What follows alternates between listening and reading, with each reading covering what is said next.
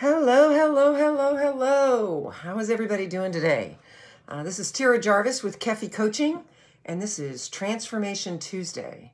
I come to you live every Tuesday. I've been doing that now since uh, probably June of last year, uh, every week, 8 a.m. Pacific time. And we've been exploring and discussing mindset, motivation, and transformation. And today, what I want to talk about is, um, excuse me, um, the fact that the transformation process actually starts with desire. And the desire to either have something that you don't already have, and that typically is going to require something that you haven't done before which in most in most situations is going to require some kind of uh, learning, some kind of skill building, habit building, uh, some kind of capacity building to get you uh, over the hump and to the next level. So, I thought we would talk about um, learning and how important a commitment to continuous learning is on your life journey and your journey to fulfillment and uh, your quest for evolving and growing and transformation. And you know, it's been a it's not only a personal interest of mine, it's one of my strengths. For anybody that's taken Gallup Strength Finders, learner is one of my strengths. And I love the process of learning. It's it's exciting to me. And as you know with strengths, your greatest strength is your greatest weakness. I can also get stuck in learning mode and not go into doing mode. So we've talked about a variety of things over the course of the last several months on how you might approach learning. But, uh, you know, universal interventions, I have a heightened listening for this, and over the last, you know, several days, things have been coming to me about learning and how adults go about learning and reinforcing some of the things that I know and also creating maybe some new thinking around that. And so last Sunday on CBS Sunday Morning, uh, the interviewer interviewed Stacey Abrams. And those of us might know her from the last election and the critical role that she played politically. What I was not aware of is that she's a successful author and she's written at least nine fiction books under a different name. And she has one now that's coming out under her own name that is still a political drama uh, um, around. Um, anyway, it's a it's a fiction about politics and drama in that setting. But the they brought up the question of you know how much time that takes with such a busy life, and how do you write these books, and you know how do you have this successful author career when you're doing that? And she said something that struck me in that her mom was a librarian or a research librarian, and she said she learned very easily how to be strategic, how to think strategically on how to learn. And so that caused me to go, well, do I think strategically around how I learn and what kinds of things am I doing um, that would consist, you know, would, would fit in the topic of a strategy around learning and how you would make a plan to go about that. And there's a couple of things that I've uh, done for myself uh, throughout all my various transformations that I've created in my life, but also when I work with uh, my clients. And it's the notion that personal and professional development is a process and it's a continuous process. And you've heard quotes like, if you stop growing, you get stagnant, you're going to be left behind. And it's really the act of growing and learning that keeps you vibrant and relevant and uh, actively actively living your life. So as I share these things, I want you to think about maybe some skills that you're interested in adding to your toolkit. And it's interesting because the velocity of change, I mean, it's only, the velocity is only increasing. And the amount of change is putting that much more of a demand on constantly assessing skills, abilities, tools, applications, all different kinds of things. So here's just a couple of things that you might think about when you look at how you want to go about learning.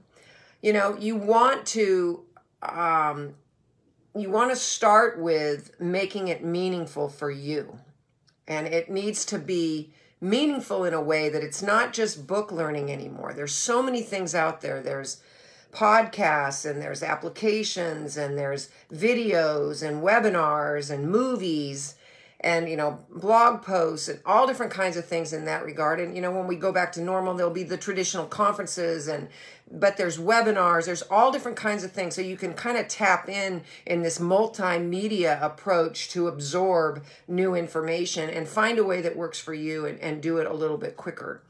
Um, and, and and you want to connect it to your life. So i've always talked about Adults learn best by experience, and you need to get in the deep end if you want to learn how to swim or if you want to learn how to speak Italian. Think about ways that you can actually converse with people that speak Italian, not just do like a tutorial, but you're looking for an experience that brings it into your life so you can practice it. And that might be new habits, that might be um, things that you're going to let go of, those kinds of things. And um, so building new habits around that is key. You know, for me, um, I'm looking at two areas, and it's interesting that both of the teachings, whether it's my financial uh, advisor who's uh, I'm in a course and a group with her called Wealth Mastery and we're looking at automation and how that makes your life easier in the finance world around automating cash flow and automating payments and automating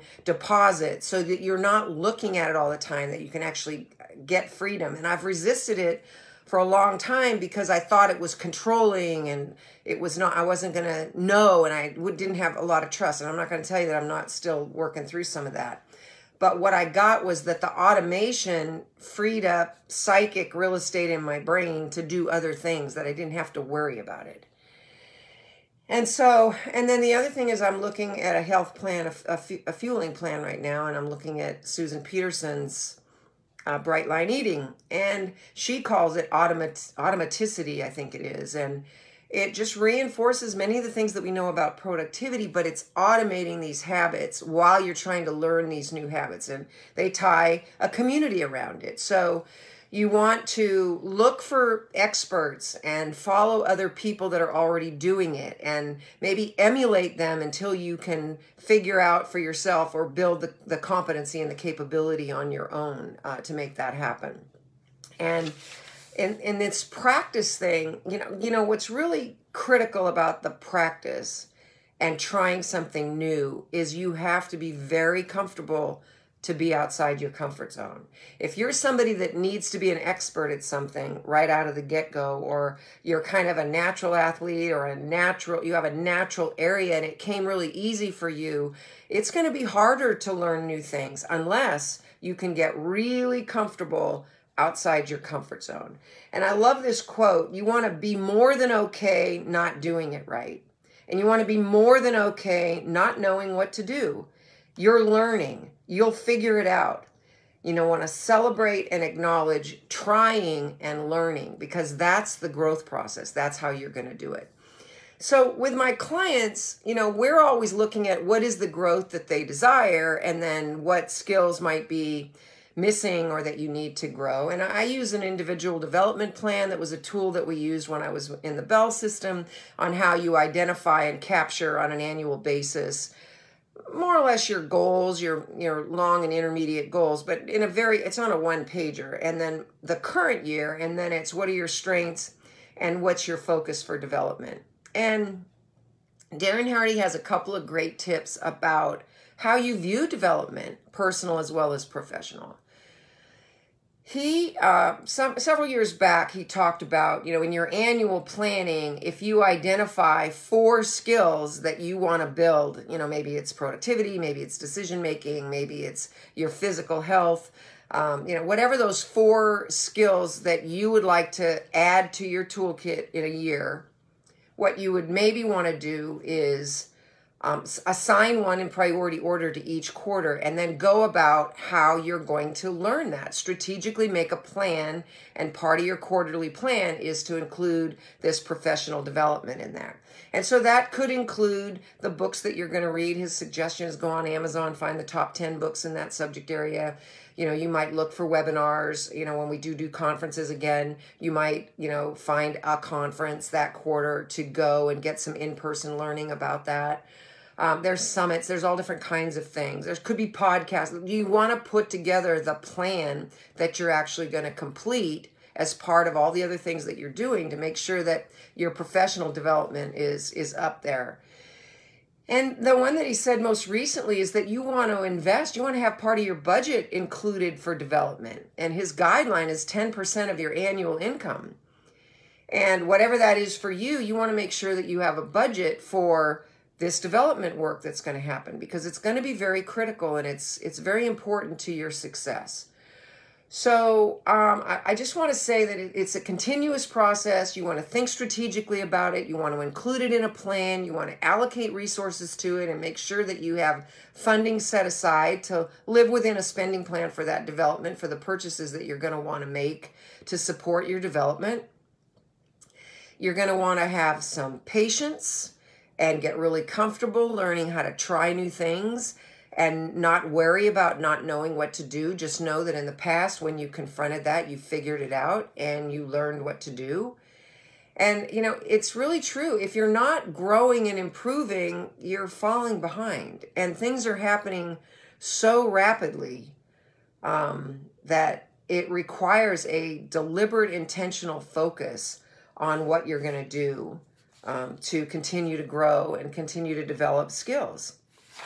So, one of the things that's really key is that you could find a mentor. and a mentor would be somebody that is willing to be in a relationship with you that's willing to you know help accelerate your learning curve and help that and just like every other networking tool it can't be a one-way street so you want to look at your network you want to identify some people that may already be doing something that you think is important but you want to nurture and cultivate that relationship. You don't want to come straight out of the chute asking, Can you mentor me?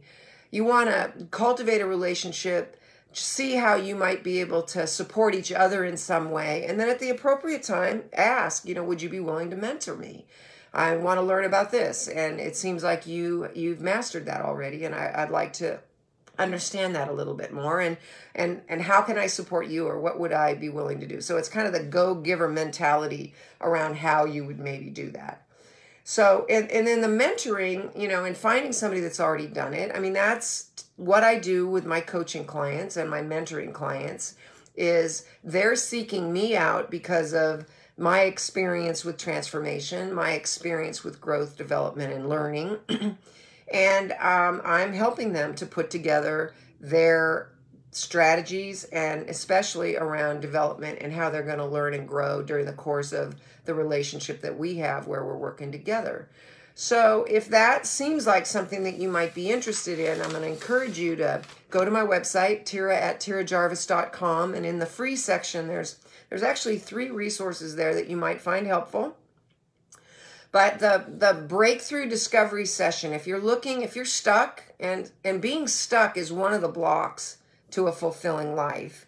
So if you you are stuck, and it would be helpful to have an independent person kind of look with you and shine a light on what might that source of being stuck might be for you. Consider the the complimentary uh, discovery breakthrough session, and then my audio program, the fulfillment formula, is there.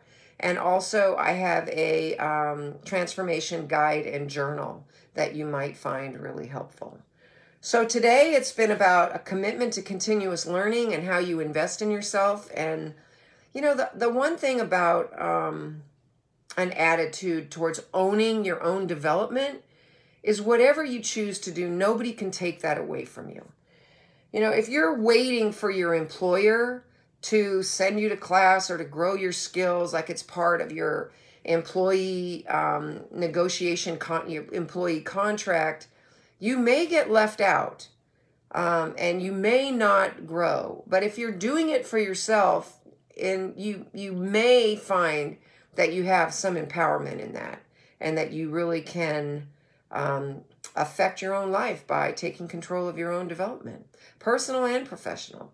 And there's a lot there's a lot more fun in it. If you can get comfortable with concentration and being patient and really allowing yourself the grace to not be an expert at something right away while you're learning all right so with that i'm gonna i'm gonna say good say good morning have a great day chrissy always great to see you i hope all's well with you Uh, look forward to connecting uh, with you sometime in the future. And with that, I'll be here next week, Transformation Tuesday. Let me know what you think about my new backdrop. I'm kind of loving it. I'm not sure. I like looking at it. It's a it's a peony sticky wallpaper. So uh, I'm I'm kind of loving it. So let me know what you think. Uh, put your comments in the uh, in the Facebook group or in the Facebook page, wherever you've seen this video.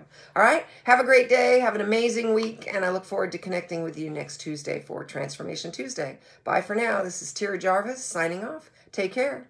Bye-bye.